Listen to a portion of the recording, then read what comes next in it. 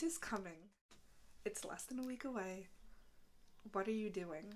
I've been looking on Pinterest for some vlog ideas and some video ideas and podcast topics. And I found a pin that's called 10 out of the box ideas for Lent. So I'll make another video saying what I'm doing, but I wanted to go through this. Um, this girl's actually very cute. Her name is Becky, and I just wanted to uh, read them to you and we'll go through and we'll react to them. Here are 10 things to give up for Lent. 10 out of the box ideas for Lent. Number one, you don't buy anything you don't need. If you can live without it, you don't need to Give it up for Lent and put the money that you would have spent into a jar. You'll be surprised how quickly you build up your savings. Once you see how much you saved in 40 days, split it into two groups, saving and donating. Don't spend it, you've worked too hard. Okay. Um, I like this one. Could be better about like saving. But honestly, it kind of stresses me out to spend money. Like the more expensive it is, the more like like even like grocery shopping or like things that I do need, it stresses me out. Throw away 40 things for 40 days. Okay, my mom would probably love it way more than me, but this is fun. You'll walk around your house and collect 40 things and donate or throw away. Every day until Lent ends, try donating because you're helping others.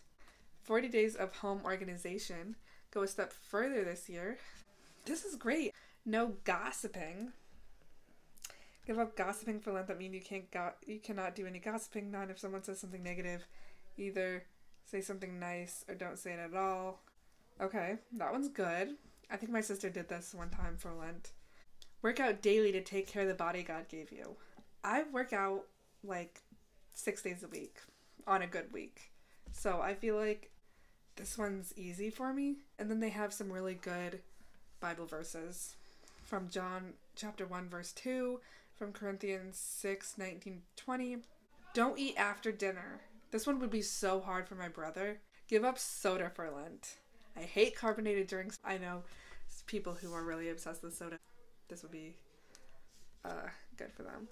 I love number eight. It says say three nice things to your spouse and kids daily. You could do like family members, coworkers, all of the things. I like this one. Everybody says I do a good job with like affirmations and stuff um, to other people, but honestly, it's not like my go-to love language to give or receive. Don't eat out for 40 days. Honestly, this one is good. I feel like yes. Some people um count Sundays as still part of Lent and other people don't because it's like our mini Easter. But for Christmas I gave my family a little like book of gift cards and some of them are restaurants, some of them are like activities. Honestly, we still have so many to do. Finally, number 10 is replace 30 minutes of TV or screen time with 30 extra minutes of devotion or prayer time.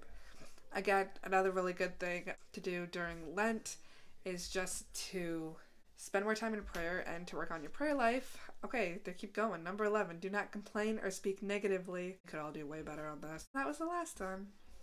Okay, so I hope you guys got something out of this. I'm gonna obviously leave this linked um, down below for you guys. And stay tuned because there's more Lent and Easter videos coming. So I can't wait to see you then. Uh, if you're on the podcast, don't forget to check out the YouTube channel. And if you're on the YouTube channel, don't forget to check out the podcast. And I will see you guys when I see you. Go light a candle. Ciao, babes.